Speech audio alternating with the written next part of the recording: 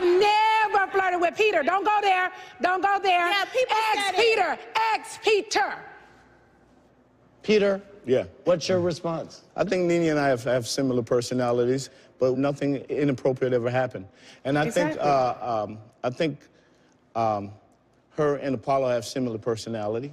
Okay, they're very playful. I don't think it was nothing more than that. I So don't think in the was- whole issue of Yeah. the text messaging and yeah. Apollo I, and well, Kenya, I, I don't think none of that shit happened, to be honest with you. I don't think they ever had anything going on between them. Okay, but some of us would like to take little things like that and run with it. You understand what I'm saying? And that's to me, that's unfair. I think that we all owe her an apology. I think Kenya been uh, dealt a bad hand from day one because of her personality. I think so. I've been around her. She's not the woman that's going to go out and other people's husband. No, she's not.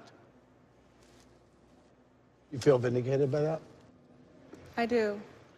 Peter, question. Yeah, If someone were to come to you yeah. with a yes or no answer that, with the question of did you and my wife flirt, The answer would be no. the answer would be no. Peter, what was your reaction when you saw Porsha saying that that you screw around behind Cynthia's Nah, back? She kind of reckless with him out. He was talking about, I'll probably uh, have sex with several of my employees. If I'm gonna cheat on my wife, I'm gonna be hit something big. Let me go get J Lo. Let me go get Beyonce. Let me go rob Jay Z. Let me go do something like that. It ain't gonna be with no waitress. It ain't. I'd rather play with myself than do that. Okay.